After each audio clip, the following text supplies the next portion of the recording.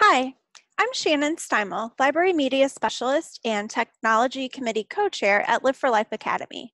I'm fortunate to live in St. Louis where METC Ed Plus is located. They are one of the official providers of ISTE certified educator training. It is a two-day on-site training followed by an eight week online course and then six months to create your portfolio where you connect the work that you're doing to the ISTE standards.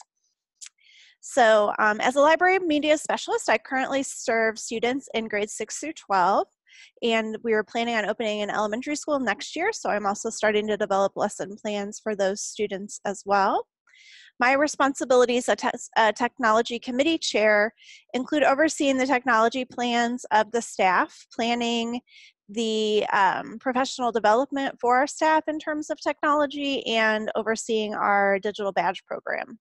In addition to providing professional development for my staff, I also often present at local and regional conferences, and I host my own virtual mini conferences on my PD Bytes YouTube channel. So my students in my portfolio artifacts are sometimes actual K through 12 students and sometimes my adult colleagues. Before ISTE certification, I was familiar with the new standards, but I did not feel like I had a firm grasp on their implementation. For instance, I'm a member of the METC Advisory Council, so I often help score proposals. METC proposals are always aligned to the ISTE standards. Before this training, I would always have to have the standards pulled up in order to score how well the proposals were aligned to them. Having worked with the standards for most of the school year, I feel like I'm more grounded in them now.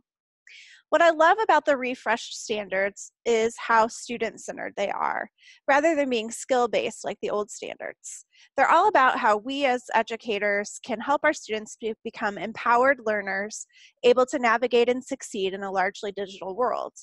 This training came at a perfect time for me when I am in the process of revamping my curriculum. I love that the ISTE standards are crosswalked with the new AASL library standards and they connect very seamlessly.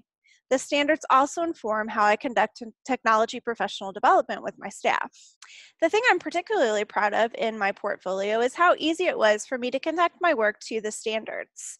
What I found as I started to gather artifacts for my portfolio is that most of the standards were already embedded into my teaching practices. I'm particularly proud of being able to highlight my work advocating for digital equity in my portfolio. Working at a high poverty school, it's a topic I care deeply about. I want to ensure that my students have a level playing field with their more affluent peers. Creating my ISTE portfolio has also helped illuminate those areas where I wasn't as strong, which allows me to set goals going forward. Two particular areas of weakness I plan to focus on relate to student data privacy and parent communication. As a librarian, one of my jobs is to curate digital resources for our students and staff.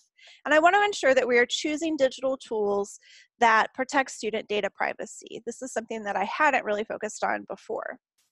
I've also realized that I need to do a better job communicating with parents. I use Twitter to share out what we are doing in the library, but I think I need to find a better way to directly communicate with parents. I also feel like helping families guide their children in terms of digital citizenship has been a missed opportunity, and I want to explore that more.